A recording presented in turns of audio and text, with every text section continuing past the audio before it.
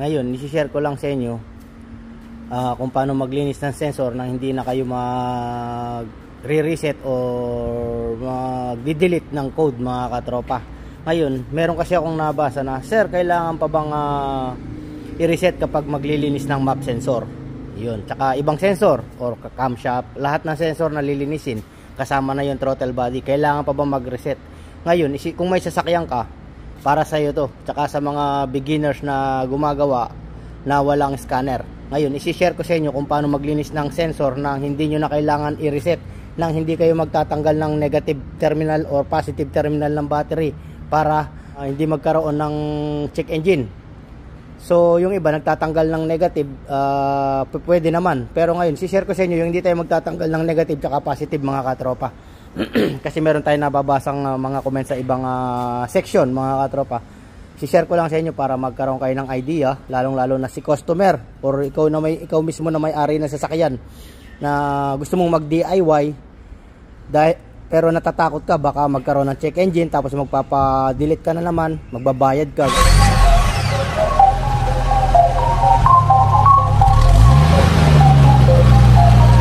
The Mechanic TV Who made this? Sa Mechanic TV channel dito ay manood ka. Click mo subscribe button, click yung bell Updated ka. Sa mga paparating namin na gawain Alam mo na, subaybayan galaw ni Sir Edgar Manapat manood ka. TV.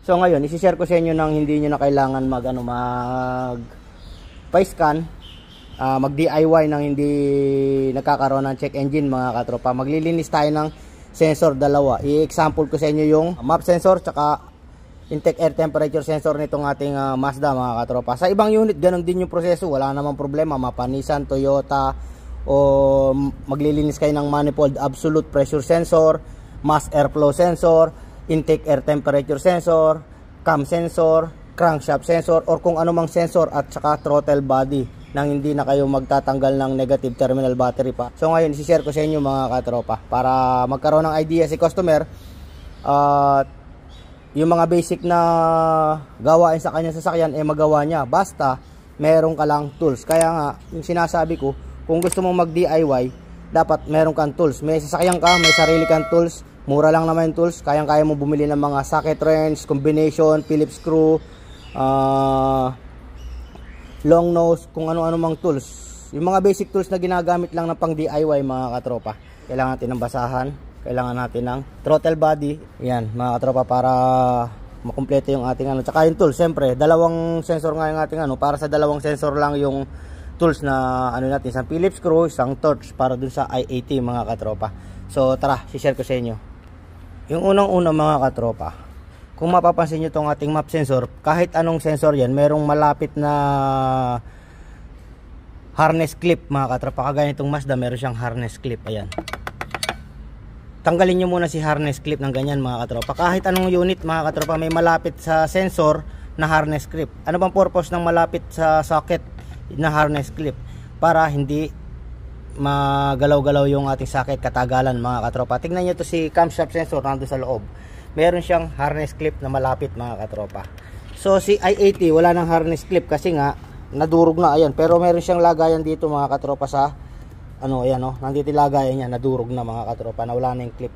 Eh, sa katagalan tumigas na yung ano nadurog na yung plastic mga katropa.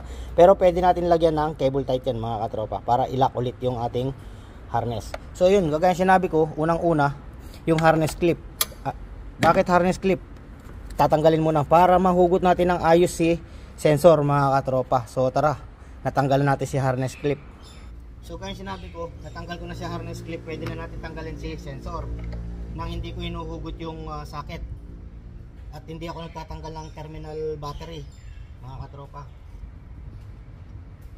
Pag hindi natin pag hinugot kasi natin to na nakakabit si ano or nakatanggal kahit hugutin mo pwedeng mag trigger mga katropa kaya mas maganda huwag natin huhugutin at malilinis naman natin na hindi natin hinuhugot yung socket mga katropa lalong lalo sa mga customer mag DIY huwag kayong matatakot mga katropa so ayun natanggal ko na yung dalawang Phillips screw pwede ko nang hugutin si sensor yan tapos ilalabas natin so nakalabas na si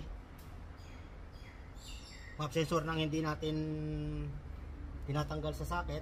Ayan, nakakabit sa socket. Oh, di ba? So hindi siya magti-trigger ng check engine mga katropa. Kahit hindi tayo magtanggal ng terminal negative battery, ayan nakakabit ko. Positive terminal. Oh. So ngayon, sa paglilinis naman, kaya nga tayo merong basahan, siyempre ganyan, para hindi na hindi na lalayo, hindi na natin babatakin mga katropa. Ngayon, gagamitan natin ng ah, ito yung meron ako, throttle body cleaner. Ah, throttle body cleaner and mass airflow cleaner. Kahit ano sensor pwede kasi mabilis matuyo mga katropa. Huwag kayong gagamit ng WD-40. Yan. So, pag meron kayong ganito, mabilis matuyo, hindi nyo na kailangan linis-linisin pa ng ano yung nakikita ko na naglilinis ng cotton buds. Pag in-sprayan nyo, okay na yun mga katropa kasi alikabok lang naman yan. Bakit ba nagkakaroon ng alikabok? Ng dumi yung ating mga sensor. Yan dito. Tsaka itong throttle body, bakit ba dumudumi? Dumudumi kasi hindi natin naaalagaan si air cleaner. Nakikita na natin medyo madumi na. Hindi pa natin na i-spray or hindi pa natin pinapapalitan. Pwede pa yan, pwede pa yan. So pwedeng pumasok yung dumi dun sa air cleaner, kahit na merong air cleaner yan, papasok pa rin yung dumi dun sa loob. Sasabay sa hangin yan mga katropa. So sa paglilinis naman, ganyan lang mga katropa. Ayan. Ito yung ano niya. Ayan. Spray mo lang ganyan. Ayan. Tapos sa loob.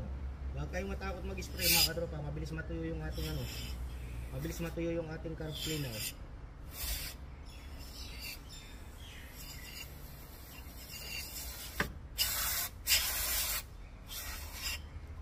Iwasan lang natin mag-contact sa ating pintura. Pwede rin makaano sa pintura kaya meron tayong basahan para hindi magkaroon ng effect dito sa ating gilid tapos sa sa body paint iwasan natin mag-contact itong ating ano. So yun. Tapos punas-punasan lang natin mga katropa. Tutuyo na kagad yan ayan oh. O hipa natin. Oh. Yan, ganun lang yun mga katropa. Tingnan nyo, wala namang kadumi-dumi. Kasi babalik natin.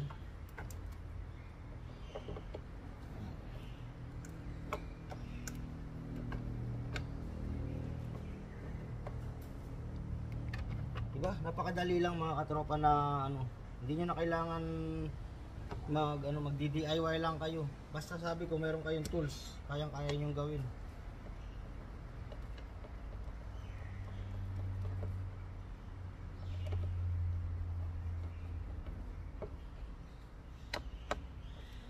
So natapos na tayo sa airflow, punta tayo sa ating ah, i80.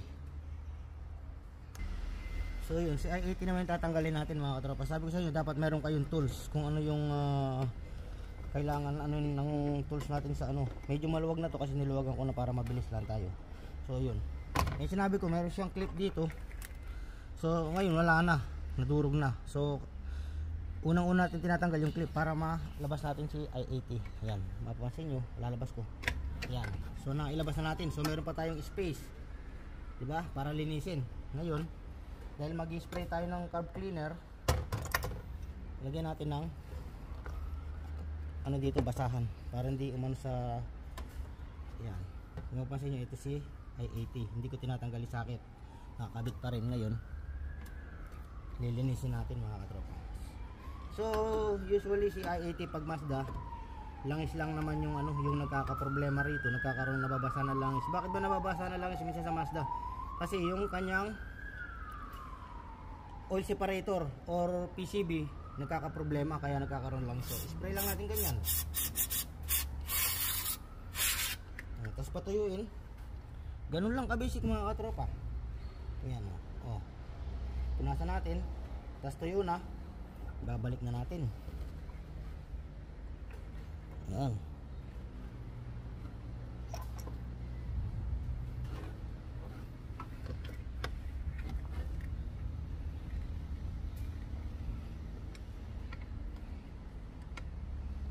Diba, kailangan lang natin ng tools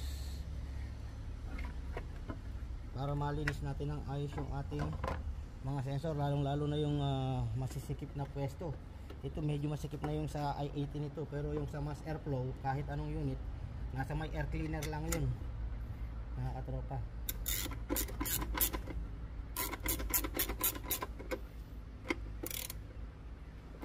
oh, na hindi tayo nagtanggal ng sakit Pagdating naman sa throttle body, siyempre magtatanggal tayo ng air cleaner kung ano yung nakaano sa throttle body, kung ano yung nakakabit sa throttle body.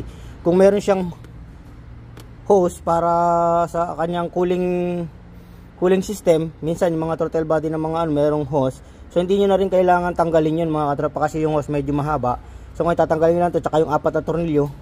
Pwede niyo lang sprayan at punas-punasan. Ngayon sa may flapper, meron siyang parang dumi-dumi na maitim dun. Huwag niyo tatanggalin. Yung alikabok lang yung tanggalin yung mga katropa. Kasi sa paglilinis, hindi niyo naman kailangan kudkurin yung ano dun sa malapit sa pinakapuno ng flapper. Kasi ano yung gum yun. Talagang nilagyan ng design na ganun dun mga katropa. Yun lang yung basic na ano mga katropa na gusto nyo mag DIY ng ah, paglilinis ng sensor hindi tinatanggal yung ah, terminal battery. So ngayon testingin natin kung nagkaroon ba tayo ng check engine sa ginawa natin mga katropa.